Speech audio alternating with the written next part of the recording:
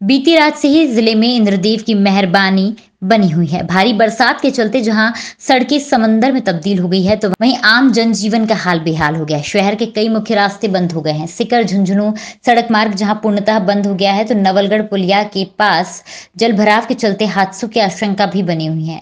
सड़क पर करीब पाँच फुट तक पानी जमा है तो शहर के आधा दर्जन से अधिक स्थानों पर भारी जल भराव है।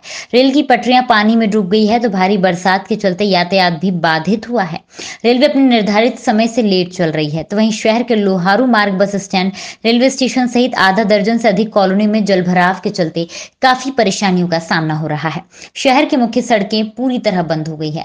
लगातार बरसात से जहाँ आमजन परेशान है तो वहीं बरसात के चलते किसानों के चेहरे पर खुशी लौटी है। ज़िले के अधिकतर इलाकों में फ़सलों की बुआई हो चुकी है और ये बरसात उनके लिए अमृत का काम करेगी।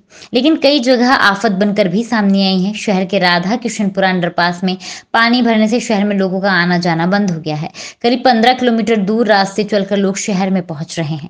बरसात से हालात बद से बदतर बनते जा रहे हैं तो वहीं जिला प्रशासन जल निकासी को लेकर कोई ठोस कदम नहीं कर पाया। नवलगढ़ पुलिया पर हुए जल भराव में कोचिंग छात्र की मौत होने के बाद सिकर शहर बंद रहा था और जनता ने जल निकासी को लेकर प्रदर्शन भी किए थे।